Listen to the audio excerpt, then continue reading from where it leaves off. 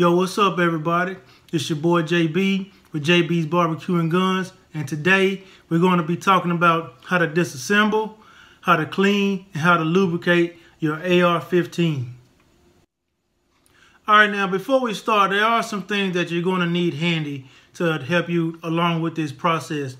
You're going to need some some gun cleaner, some solvent, and you're going to need some lubricant, okay? I like to use CLP. So for today's video, we'll just be primarily using this CLP because it's like a three-in-one. So we really don't need the other one. You're gonna need some, some cleaning brushes, a cleaning rod for attachments. You're gonna need a, a bore snake. You're gonna need something pointy and sharp not necessarily a knife, but something that has a, a pointy edge kind of to it. And you'll see why later on. And you're going to need your best friend, which is some Q-tips. All right, so what we have here is my 6.5 Grendel, okay? 6.5 Grendel is in the AR-15 family. So we're going to be using this today because my other one is already clean. But as always, the first thing you want to do before you mess with any firearm, whether it's cleaning or you're going out to the range or whatever you're going to do with it, is you have to inspect it to make sure that it's not loaded. So the way that we're going to do that today is we're going to press on this magazine release right here. As you can see, we have a magazine in there with some rounds in it. Then we're going to take the charging handle right here and we're going to rack it back just to make sure that we don't have a round in the chamber. Then we're going to lock the bolt back, okay? Then we're going to visually inspect the, the chamber. And we're going to physically inspect it. And there's nothing in there. So we're all clear. Now we can proceed. All right, now that we got everything inspected, everything's clear and good to go. The first thing you want to do is go ahead and start the takedown disassembly process. And how you do that, what you're going to do is locate the rear takedown pin, which is right here, okay? And the front pivot pin, which is right here, all right? All right, now most of the time you can just press these in, but some of them fit pretty snugly. And, you, and you'll have to use this, this cleaning rod tool to get it out. So I'm gonna go ahead and show you that. I just pressed this uh, rear takedown pin in right here. And on the back side right here is where it comes out and you can just kind of pull it out like this and this comes up like that. Now, if if you have some kind of cleaning bench or something like that, you can actually just go ahead and clean it like this, okay? But for the purpose of this video right here, we're going to take all of it off. Now, how you get the rest of it off, you're going to have to take this um, uh, front pivot pin right here and use your, well, on mine anyway, I have to use my cleaning rod to kind of push it through just a little bit. Once you push it through, it's the same thing. Pull it through. And then your upper and your lower comes apart together, all right?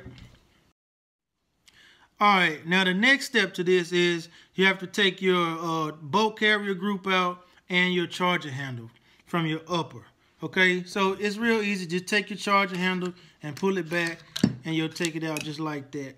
And we can set this to the side for later. And we've got our lower part right here, and we'll worry about those later on. Okay, now we can start the disassembly of our bolt carrier system. Now, some people don't know, and they actually end up calling this whole entire thing the bolt, okay? This is the bolt carrier system, okay? This is your bolt carrier. This right here is your bolt, all right?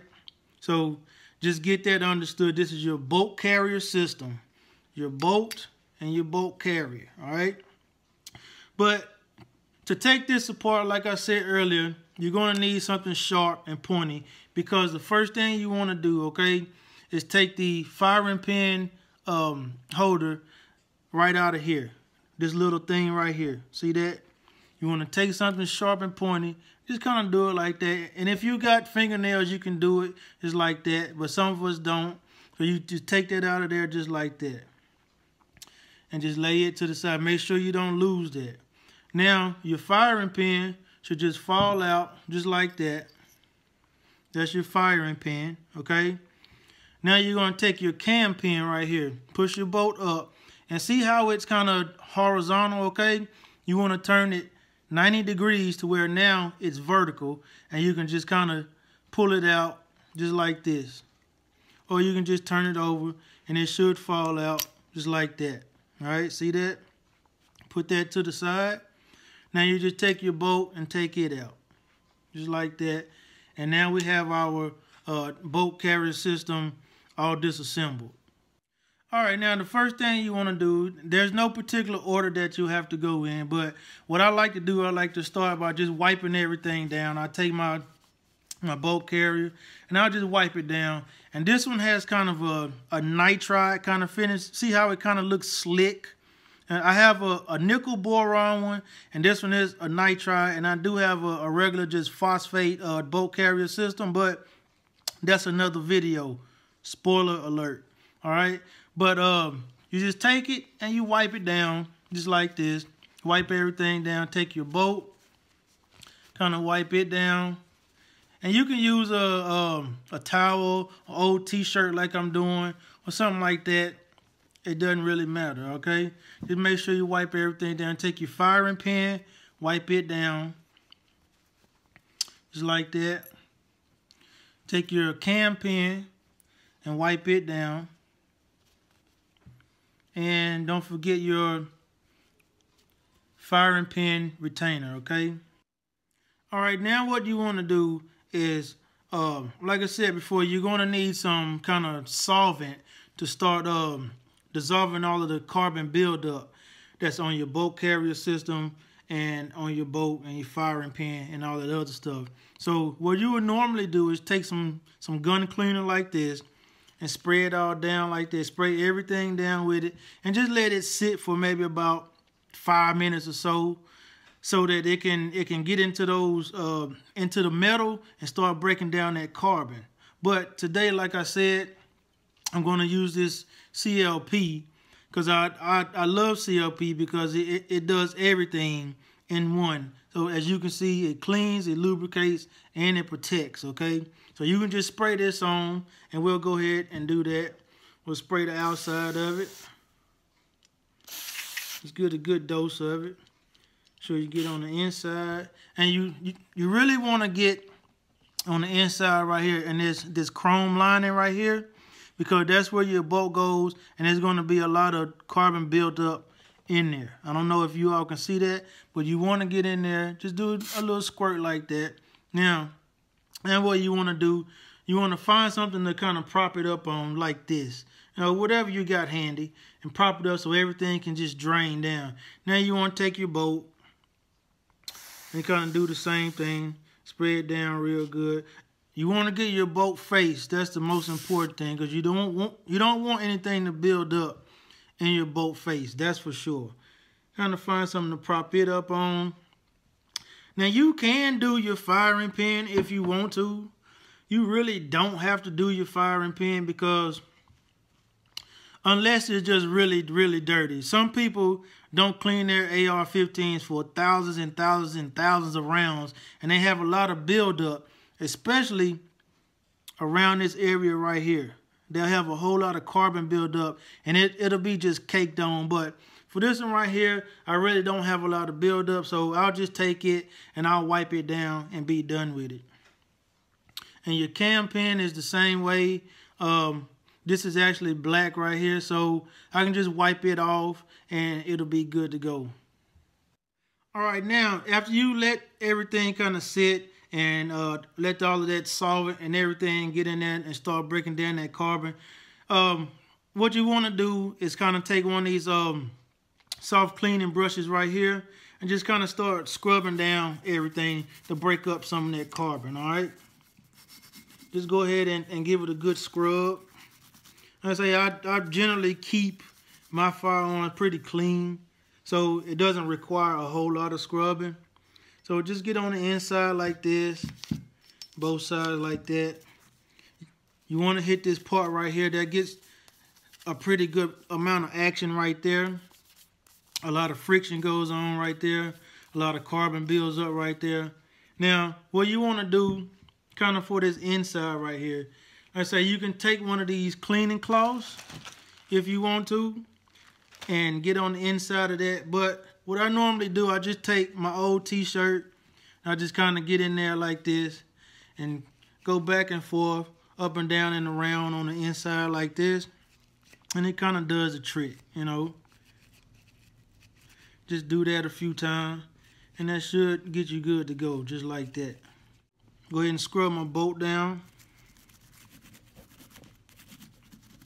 Now on your bolt, where you want to pay attention to, the most carbon buildup is going to be around this edge, around this uh, cylinder right here on your bolt right here. That's where the, most of your carbon buildup is going to be. So, like I say, people don't clean their ARs for a thousands and thousands around. They'll have a heavy coat of carbon buildup right around this edge right here. So that's an area right there that you want to pay particular attention to. And mine doesn't really have that much because I keep mine pretty clean. You know, so just kind of, and like I say, you want to get this bolt face right here. You don't want anything building up in there ever because then your um, extractor won't work. Your extractor is what uh, ejects the, the bullet casings when you fire. So you want that clear. You want that functional at all times. All right. Get that and take your cam pin. just kind of brush it a little bit. And then what you'll do, you'll just wipe everything down. So you just, just wipe everything down. Get that bolt face. Now we'll let it sit until we get ready to lubricate everything. Okay, now we want to go ahead and clean our uh, upper part of our firearm right here. This is what's considered your upper right here. This is what uh, houses your, your bolt carrier system and your charging handle. So you really want to get on the inside of here. You want to get that pretty good inside of there. You want to get your feed ramp pretty good, okay? You don't never want that caked up. You'll see that feed ramp in there. You don't ever want that caked up. So pretty much the same thing. What I like to do, I just go ahead and squirt it down a little bit inside of there. Get the feed ramp a little bit. Let that all get in there. And normally I'll, I'll just let it sit for about five minutes, but for purposes of, of this video right here, I'll just show you, I'll just go ahead and scrub everything down.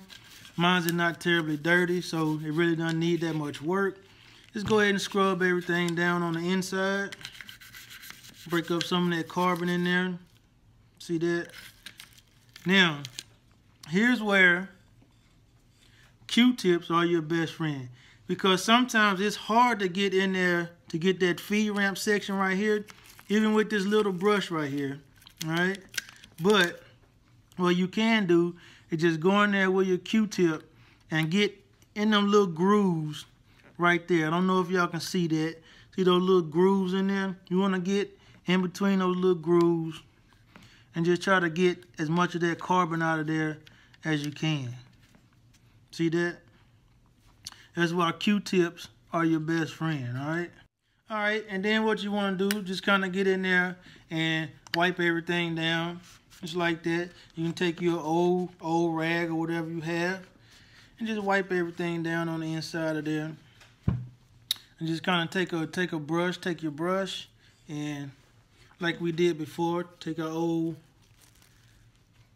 t-shirt and just kind of get on there on the inside like that, get on the sides, wipe it down like that, get down there in that bottom right there. All right. And with this CLP doing uh pretty much a three in one, you really don't even have to, to lubricate it because it's already lubricated inside of there, all right?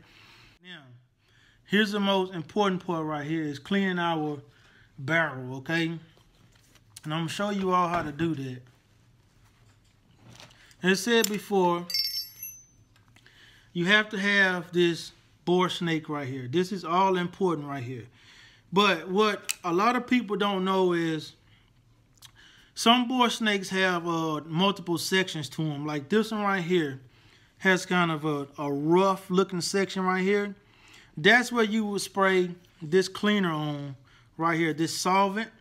You'll spray this solvent on there and then run it through your your uh, barrel, okay? And I'll show you how to do that here in just a second. But right now, and then you have a, um, a another section back here where you spray your lubricant on after you get your solvent in there. You spray it on both sides of this part right here. But right now we're going to go ahead and spray some solvent on this section right here. Just get it all over there like that. And what that's going to do, that's going to, when you run it through your, your uh, barrel, is going to coat that barrel with this solvent and its rough part is going to start breaking up that carbon as you pull it through. All right, now I just gonna want to show y'all how to feed this uh, bore snake through here so that we can clean our barrel. You want to take this this brass end right here and feed it through the the ramp until you see it come out the bottom of the, the well the top of the barrel right here. All right. Now when you see that, you can just pull it on through and you want to wrap it around Wrap it around your hand like this, okay? Now what you want to do is just kind of pull it through. Wrap it around your hand and just pull it through just like that. And so you want to go kind of slow. Here's that first part. Got everything in there. And boom, just like that. Now you can do that two or three times, just uh, depending on how, how dirty your barrel is. But I really don't have to do too much of it. So what I'll do now is I'll just put some lubricant on it on both sides of this bore snake and I'll just repeat that process. All right, now the last thing you want to go ahead and clean is um, your trigger system, okay? The trigger system doesn't really take, um, it doesn't really get a whole lot of carbon buildup. So some people don't don't even do it. I rarely do it. But for this video, I'll go ahead and show you how to do it. And what you want to do, you want to take it off of safety so that your um, trigger can be pulled so that your hammer right here can uh, go forward. Now, one thing y'all need to remember is this, okay? You never want to fire your trigger and have it hit up against this little section right here, okay? Because it can it can crack it. It can it can really damage it and that'll be and then you'll have to replace this part right here okay you'll have to replace your uh, bolt release all right so what you want to do is you want to take your finger or whatever place it over the hammer like this now you want to pull that trigger and release it slowly uh, just like that all right so just remember that but all you really want to do in here just kind of get in here and wipe it down like this you might take your brush and get in here a little bit and break up some of that carbon like that on there. But that's all you really have to do to your trigger system. Now, if you want to lubricate it, this is where you would lubricate it. See those springs right there? That spring right there. That spring over here and these two springs back here, okay? Those springs right there, those springs, one, two, three, and four. Those are the springs you want to lubricate, okay? Because those are the springs that are for your, your, your hammer, okay? And your trigger, okay? But you don't need to douse it down. Just take a few drops of uh, oil and just kind of drop it on each spring and then work it back and forth like that. And then you'll be done with that. All right, now what you want to do is go ahead and get your bolt carrier system all uh, lubed up. Remember that AR-15s love to run wet, okay? They love to run wet, okay? So just think about it as you driving your car. Your car's engine loves to run wet, okay? So you want to lube this pretty good, okay? But where you want to lube it at, you don't have to lube this whole entire thing because not the whole entire thing engages in friction, okay? But where you want to lube it up at is in these grooves right here. All right, see those grooves right there? You want to lube it up in there. Now try not to get a whole lot. Lube it up in there just like that, all right? on the sides right here, all right, on both sides, and on both sides of the um, or your gas key, okay? So we'll take that, lube it up on both sides like that. And we can just kind of let it drip off or you can wipe it off lightly or whatever you uh, want to do. I typically just let mine run off for a little bit, maybe about two or three minutes, and then I'll be done with it. But the section that you want to get some some um some lube in is this section right here where your bolt goes. Okay, this has a uh, a chrome lining, and it helps with the with the slickness and the, um, it helps the bolt slide through back and forth. Okay, so you want to have some lube in there, and you don't have to get a lot because, like I say, the the boat is going to be going back and forth anyway. So that's a good amount right there. Now you want to go ahead and oil up. The most important of your uh, AR is going to be your bolt. Okay absolutely bar none your bolt okay? I love to have mine really lubed up okay? Because like i said before ars love to run wet. Now i typically don't put any in the bolt face because to me that's just it doesn't need it okay? But you want to have it oiled up pretty good. And one thing you might want to do y'all might want to consider is taking a q-tip okay and going inside of here and just going in there like that to try to get some of that carbon out of there, some of that carbon buildup. See that? It's a little bit in there because I've already done it. And you also want to do it on your gas key, all right? Just get in there back and forth just like that once or twice. Boom, see that? You want to keep that clear of carbon as much as you can, all right? So we got those oiled up. Uh, you really don't have to do the cam pin. You can if you want to. Some people do. I just take whatever's on my hand and just kind of do it like this. But you don't have to oil up the uh, firing pin at all. So we've got everything lubed down. You can even lube down your um, charging handle. It's a pretty vital part. You can lube down your charging handle. So I'll just let those sit for about mm, two or three minutes or so. Then we'll come back. Then we'll start putting everything together. All right. Now that we got everything lubed down, it's time to put everything back together. So the first thing you want to do is you want to go ahead and put your bolts back into the bolt carrier. Now, on mine, it has this, this writing right here. If y'all can see that writing right there. So I know that this is facing up. But if yours doesn't have writing, just remember the extractor, which is this right here, if y'all can see that, the extractor, this part right here, is always facing at the 10 o'clock position, okay? And I'll show y'all how that's supposed to look. So if I'm putting my bolt into my bolt carrier system right here, the extractor is right here, and I'm making sure that it's at the 10 o'clock position, okay? Because if you notice, when I do everything, everything is lined up. The hole is lined up. See that? And if you see your hole lined up like that and your extractor is at the 10 o'clock position, you know that you have your bolt in right. Now I can tell you this, if you have it in the opposite direction, you'll know it because when you go to fire your firearm, your bullet casing won't extract and it won't uh, eject and it'll get stuck in there. Believe me, that happened to me once. And I couldn't figure it out for like two days until I, I actually looked at it. So Make sure you put this in at facing at the 10 o'clock position, okay? And then you'll know you're absolutely correct. All right, now the second part to this is you want to go ahead and put your your cam pin back in here. So as you can see, we've got these these holes lined up. All right, the holes are lined up. So we want to take our cam pin just stick it right back in that hole right there. Now you see that it's vertical. Okay, the cam pin is vertical. Okay, we want to turn it 90 degrees so that now it's horizontal and we can pull the, the bolt back. And now the bolt is now locked okay? We can't take it out of there all right?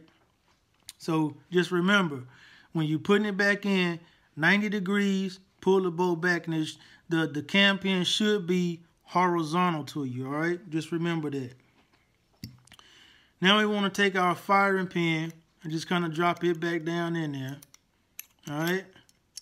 And make sure you get it down in there fully. You want to make sure that it's all the way down in there. So that's in there. Now we want to take our firing pin retainer and just stick it in this little hole right here. If it doesn't go all the way through the first time, you might have to wiggle it through, but it should go through the first time just like that. All right. All right, now we have our uh, bolt carrier group assembled. All right, now what you want to do is put your charging handle back into your upper receiver, okay? Now, a thing to remember when you're putting this all back together is inside here, I don't know if y'all can see it, it's two little grooves, like right, right here. It's, it's two little grooves right in the, in the beginning, one on each side, okay? And they fit the charging handle's little flaps right here. See these little flaps right here? So what you want to do is you want to slide that in there and place those flaps into those grooves and drop it down just like that. See that? Drop it down just like that. Now you want to slide it forward, but don't slide it forward all the way just yet, okay? And this is important. This is why you want to have your bolt all the way to the back when you're putting it back in here. Place your uh, your gas key, turn it upside down, and place your gas key in the little uh, groove well right here of the charging handle. Just like that. So when you get it in there, just slide in like that. Make sure everything's even. Now what you can do is press it all forward. Now, if our bolt was forward instead of pulled all the way back, we couldn't get that in there. So just remember to pull your bolt back. But we have everything assembled now. Now we're going to put our upper onto our lower, and then we'll be finished. All right, so we're going to go ahead and put our upper back onto our lower, and everything fits in perfectly, okay? Now we want to push our rear takedown pin in and our forward pivot pin in, and now we're all assembled once again, all right? All right, now the last thing that we want to do is give it a good old function test, okay? Now, the way you do that is you want to have the weapon on safe, of course, all right? And you want to take your charging handle and just kind of rack it back a few times, just like that. That right there gets all of that that uh, lube and everything working back and forth and gets everything coated, okay? And it just ensures that everything is still working properly after disassembling everything. So you take your charging handle, okay, work it back and forth, then lock it back, okay, make sure that works push your charging handle back in, all right? All right, now we want to put our bolt back down, make sure it that works. All right, our bolt is back down. Now we want to make sure that it fires, okay? So we'll pull our trigger. We'll rack it back one more time. Check the trigger reset. Should hear that like that. And we can repeat the process if we want to, all right? So now we have done our function test. So I hope this video was able to help someone that's uh, new to the AR-15 platform. I know the AR-15 can be a little bit intimidating just by looking at it, but it's pretty simple. So once again, this is your boy JB with JB's Barbecue and Guns saying y'all be easy. Peace.